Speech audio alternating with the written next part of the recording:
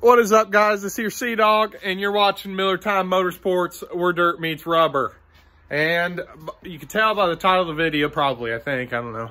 I haven't made it yet, but uh, I'd say it's going to be saying something about the new race car seat um, sitting over here. I'll show that to we'll you. get more quick. into it later, but that dude, full containment, Kirkey, uh, whatever the part number is, um, is going in here, getting rid of this old, whatever the hell that thing is. I think it's Kirkey dude, but um, it's a 15 inch and it's super tight on me. So we're upgrading to the 16 inch and full containment. It's got all the top stuff for your head and whatnot. So I'm gonna go ahead and get this puppy, air up the tires, and uh, um, get her started and we're to move her out a little bit to the welding station right there. And it feels really good today. So we'll get a lot done. So uh, stay tuned. I think I'm going to get a wrist twister out here to help me today. Maybe we get some more filming done. And uh, we're going to figure out how we're going to put that seat in there. I'll tell you what I think about it. And we'll go over everything on the, the new seat. All right, guys. It was pain in the butt, but finally got this thing out of here. We get, it, it starts fine. Oh, okay. So this is what happens. You go in it, you get in it and start it it starts and it takes a long time to get warmed up. You gotta keep feeding it throttle and whatnot. And before it gets warmed up, you know, it dies a couple times trying trying to get it idle. And after it dies a couple times, it freaking doesn't want to start again. It's like, and it keeps, the timing's a little off. And the, the carburetor needs tuned on a little bit. I don't know anything about messing with, um, uh, like, you know, just tuning these carbs. That's something I need to figure more about. And I just need to set the timing a little better. I need to get a time light out and figure it out because it's it's backfiring out of the exhaust. It's been doing that since day one because he uh, guy bought off was talking about it, and um, I knew that. Now it's starting to backfire out of the carb and whatnot, and it just does not like to start up again uh, once you kill it a couple times. So that's something I just need to deal with here and there. And that stupid starter, oh my gosh, I was getting worried about it. It's really starting to it, it, sounds terrible. I'm sure you guys know anytime I ever start this thing up. I was crawling under it. I was worried it's going to start eating the teeth on the flywheel, but it's, it's all fine down there. It's the starter's a little war from starting like that, but it's nothing to worry about at all. We just got to shim it up a little bit and whatnot. And but other than that, she's moved out. And um, I guess I'll probably work a little bit here and there, but I'll try to keep this video um, focused on this bad boy. So I'm going to go ahead and pull the seat out of that car. And then we'll go into detail about this one. We'll get it back together and whatnot. For And um, for everyone that's been commenting about the flywheel, guess what? We got another spacer to throw on there. And we got a bunch of um, little washers we can throw on there. So uh, that will be taken care of. Don't everyone worry. I'll figure it out. Um, some people, they're arguing actually. Tell me in the comments where you run your fan in the fan shroud. Because there's a couple people saying different things. One person said halfway in, another person said one inch from it, from the actual radiator. Another person said two inches. So uh, what does everyone run? Where do they run their fan shroud? I know this is not much of a fan shroud, but what do you guys normally do? like to see what everyone else thinks. All right, guys. Something a little different here. I'm to sit here and we're to talk about this seat a little bit. Um, yeah, don't don't mind my nose here. Uh, wearing a stupid mask at work all day it's literally my nose live. So uh, see a little redness right there. That's what it is. But anyway, let's get into what this thing is. Um, so I bought it at Speedway. It is a Kirkey. Like I said, I don't remember the part number. I put it right here again. Here's the part number.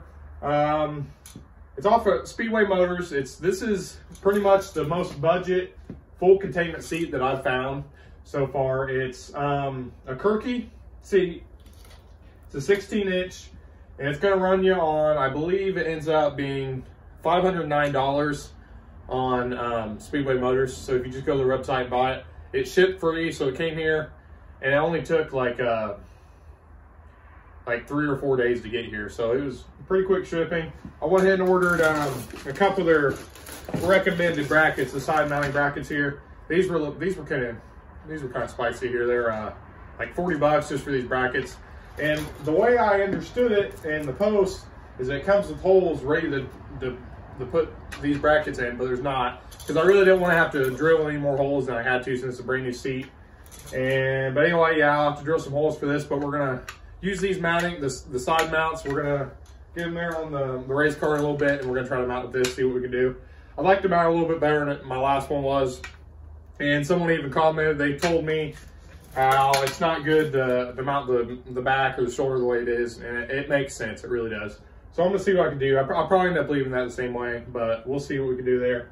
But anyway, for the seat, let me uh, take all the padding off real quick. All right, guys, so for the seat, it is a two-piece design. So it comes in the mail, it's two pieces. Some of you might not like that, but it probably just stays on shipping. And then it makes it, I don't know if most seats are two-piece, but this one is. And it, uh, it's adjustable too, so you can bring it up and down. What they said, where you want it, is I just guessed and put it on there and I in it and it actually works for me. Uh, you want the top of this about at your cheekbone right here when you're sitting in it, so that worked out. But how it works is, let me lift it up here, see how much you can see. Um, it's got these pre-drilled holes right here. So you put four right here, and then you run two and two on the sides, and that holds it down. That's something I was kind of, oh, here's the part number, guys. 70160. I probably already told you guys that 6,000 times, but that's on there. Um, so there's that.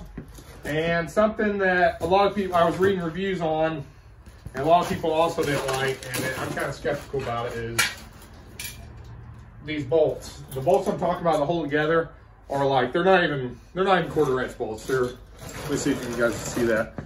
That is a tiny bolt. That's what's holding together. Um, so I'm gonna run these on and we're gonna see how stable and strong it is. I mean, just the feel of it. I'll probably run these bolts, but if that's the only thing that I've heard people complain about is how small the bolts are. So that's something you might look into. Maybe all you have to do is probably drill out and put bigger bolts in it, but that's up to you, I guess. But it comes with these, that's what you use. But anyway, it seems like it's pretty well built. I'm pretty excited about it. It's uh, definitely on a budget seat. This, like I said, it's the cheapest one, full containment like name actual name brand that I can find, like $509 and then ship free from Speedway. So yeah, that's about it with the seat. And um, I guess all there is to it now is we're gonna throw the padding back, or well, we won't yet. We're gonna get that seat out. I already said that, but we're gonna get that seat out and we're gonna put that one in and see how we're gonna mount it. So stay tuned. All right, guys. So what we got going here, got the seat out. And so what we're gonna have to do here, this is the this is how the brackets are gonna sit this way. So what we're gonna do is with what we got is we're gonna take this off, we're gonna cut it off. That's just tacked on there, there, and there.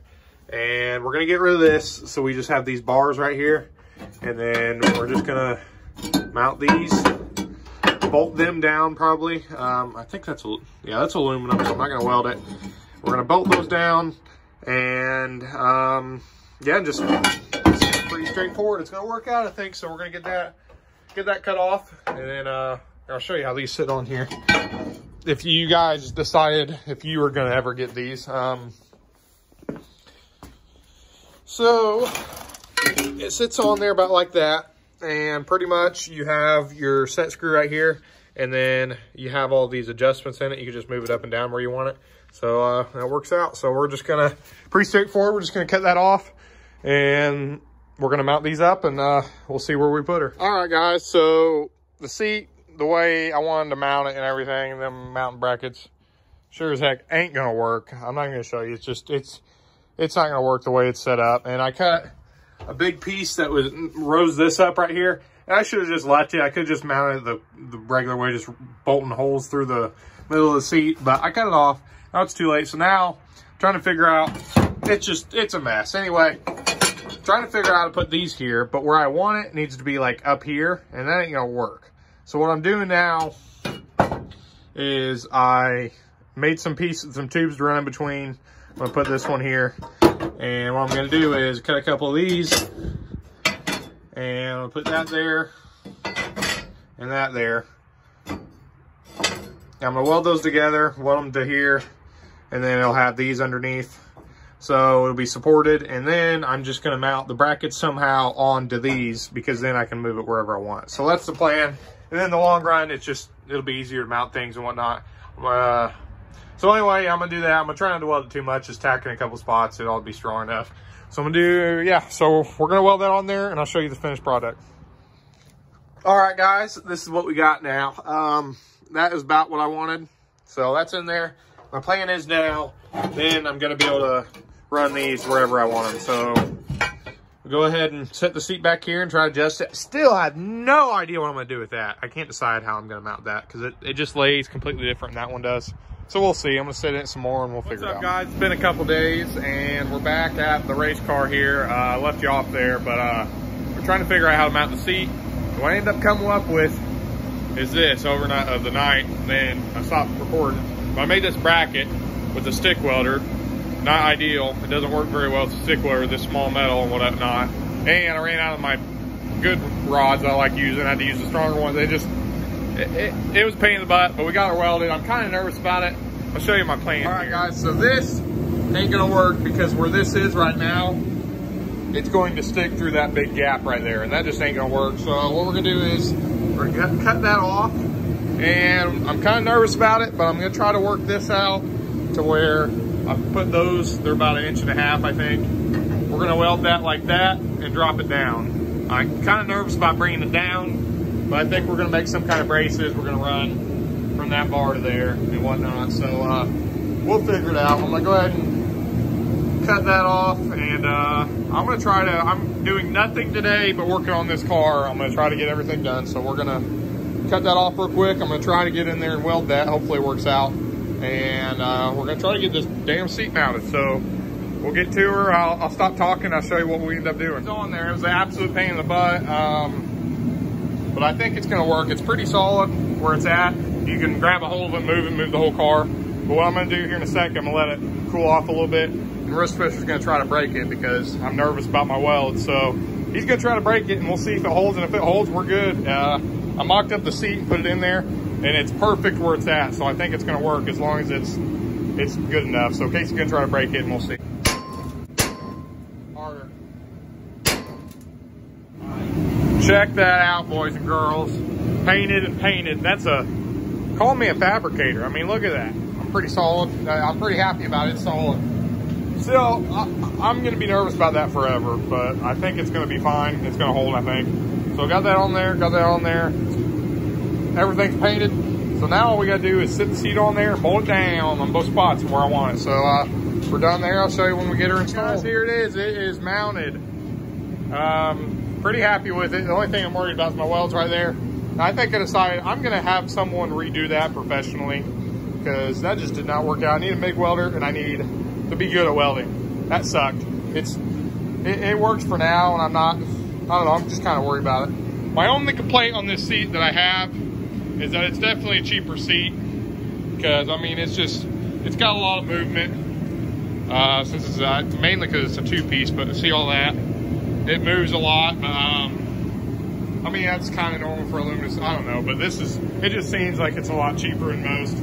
But uh, anyway, that's about it. I think we're, we're, I'm going to sit here and keep working on the car. Me and Wrist Twister's been banging stuff out today.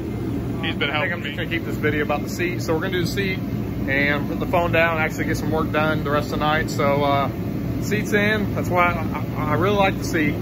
It's uh, good for the money, I'd say. I mean, I've never had a full containment seat, but hey, it's I like it. So uh, yeah, that's about it. We'll see you on the next one, I guess, guys. Like, subscribe, follow our Instagram, leave a comment, and do the bell thing. So uh, we'll see you.